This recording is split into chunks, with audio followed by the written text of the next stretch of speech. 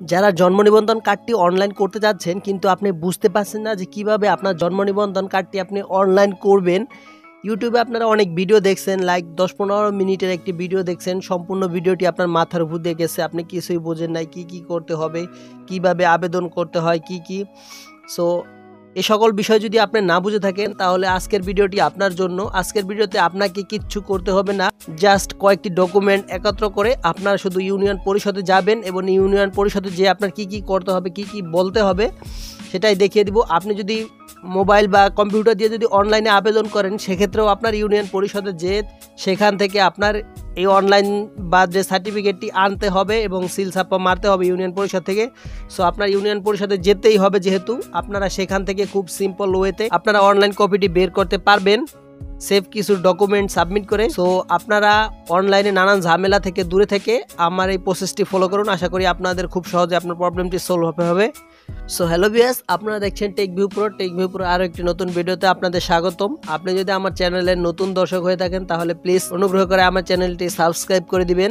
আর যদি আপনি সাবস্ক্রাইব করেন, তাহলে অসংখ্য ধন্যবাদ। আপনাদের সিম্পল ওয়ে দেখাই দিচ্ছি। জাস্ট আপনি যদি আপনার নিজেরটা করতে চান, আপনার বয়স যদি আঠারো বছর প্লাস হয়ে থাকে, অর্থাৎ আপনার যদি এনআইডি কার্ড হয়ে থাকে তাহলে আপনারটা এক নিয়ম বা আপনার যদি আঠারো বছরের নিচে হয়ে থাকে, তাহলে আপনারটা আপনার সন্তান বা আপনার ছোট ভাই বোনেরটা সেটা আরেক নিয়মে। সো আপনাদের দুটি ওই দেখাই দিচ্ছি, খুব সিম্পলভাবে আপনারা এই নিয়মে করতে পারবেন।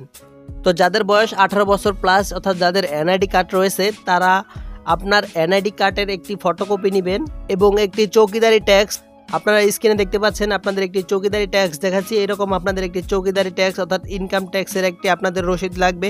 এটা আপনাদের প্রয়োজন হবে এবং আপনি যদি পড়াশোনা করে থাকেন, আপনার একটা রেজিস্ট্রেশন কার্ডের ফটোকপি নিয়ে নেবেন। কারণ আপনার এই নাম অনুযায়ী তারা আপনার নামটি টাইপ করবে। সো আপনার রেজিস্ট্রেশন বা আপনার সার্টিফিকেটের সাথে যাতে কোনো ভুল না হয়। এবং আপনার পিতা মাতার ন্যাশনাল আইডি কার্ডের ফটোকপি আপনার এনআইডি কার্ড আপনার একটি রেজিস্ট্রেশন কার্ড এবং আপনার চৌকিদারি ট্যাক্সের একটা রসিদ। জাস্ট এই তিনটা জিনিসটি আপনার যে ইউনিয়ন পরিষদ আছে, আপনারা সেখানে চলে যাবেন। তাদের কাছে তিনটা জিনিস আপনারা জমা দিবেন আর পাশাপাশি আপনার এক কপি ছবি নিয়ে যাবেন। এই তিনটা জিনিস নিয়ে আপনি বলবেন যে, আমি আমার জন্ম নিবন্ধন কাগজটি উঠাতে চাচ্ছি। সো আপনার এই তিনটা জিনিস তারা রেখে তারা অনলাইনে আবেদন করে দিবে।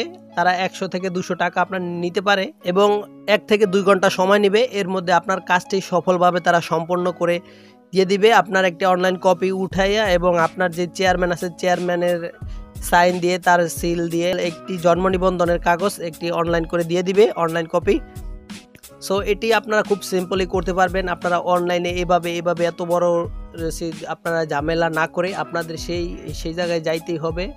সো আপনারা এইভাবে করতে পারেন। আপনার যদি পঞ্চাশ, ষাট টাকা খরচ হয়ে যায়, আপনারা যারা বয়স্ক রয়েছেন বা পারেন না, তাদের জন্য এটাই বেস্ট অপশন আর যাদের বয়স আঠারো বছরের নিচে, অর্থাৎ যাদের এখনও স্মার্ট এনআইডি কার্ড হয় নাই, আপনারা ফার্স্ট টাইম আপনার বাবা মা দুজনেরই দুইটা জন্ম নিবন্ধন কার্ড তৈরি করবেন। ফার্স্টে যেভাবে বললাম, ঠিক এইভাবে বাবা এবং মায়ের দুইটি জন্ম নিবন্ধন কাগজ তৈরি হলে তার সেই জন্ম নিবন্ধন কাগজ দিয়ে আপনার সেম একই ওয়ে আপনার একটি রেজিস্ট্রেশন কার্ড নাম্বার আর আপনার বাবার যেই চৌকিদারি ট্যাক্স রয়েছে, সেই চৌকিদারি ট্যাক্স এই তিনটা জিনিস নিয়ে আর আপনার কপি ছবি নিয়ে তাদের কাছে যাবেন।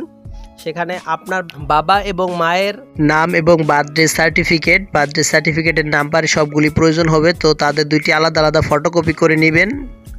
সো এখানে আপনারা দেখতে পাচ্ছেন আপনাদের আমি একটি জন্ম নিবন্ধন কাগজ শো করছি। এখানে দেখতে পাচ্ছেন আপনার পিতার নাম যে আপনার পিতার নামটি ফার্স্টে নিবে এবং আপনার পিতার নামের পাশাপাশি আপনার পিতার যেই জন্ম নিবন্ধন কার্ড নাম্বার রয়েছে সেই নাম্বারটি অবশ্যই প্রয়োজন হবে। আপনার পিতার জন্ম নিবন্ধন নাম্বার আর আপনার বয়স আঠারো প্লাস হয়ে থাকে তাহলে আপনার পিতার জন্ম নিবন্ধন কাগজ নাম্বার না হলেও চলবে, আপনার পিতার জাতীয় পরিচয়পত্রের নাম্বার দিলেও চলবে, আপনার পিতার জাতীয় পরিচয় নাম্বার, আপনার মাতার জাতীয় পরিচয়পত্রের নাম্বার এবং আপনার মাতার এনআইডি কার্ডের নাম্বার এই দুইটার একটা দিলেই হবে। যদি আপনার আঠারো বছর প্লাস হয় আর যদি আঠারো বছরের নিচে হয়ে থাকেন, তাহলে আপনার পিতার অবশ্যই জন্ম নিবন্ধন নাম্বারটি প্রয়োজন হবে। সো এভাবে আপনারা সঠিক নিয়মে আপনারা একটি বার্থডে সার্টিফিকেট উত্তোলন করতে পারেন। সো বিয়াস এই ছিল ভিডিওটি। আশা করি ভিডিওটি আপনাদের জন্য অনেক হেল্পফুল হয়েছে। সো আপনার যদি কোনো সমস্যা থেকে থাকে, আপনি নিচে কমেন্ট বক্সে কমেন্ট করে জানিয়ে পারেন। আর পরবর্তীতে আপনি কী নিয়ে ভিডিও চান অবশ্যই নিচে কমেন্ট বক্সে জানিয়ে দিবেন। সো এই ছিল ভিডিওটি। সো দেখা হবে নতুন কোনো দিন, নতুন কোনো ভিডিওতে। সে পর্যন্ত আল্লাহ হাফেজ। অবশ্যই আমার চ্যানেলটি সাবস্ক্রাইব করে দিবেন। Thank you so much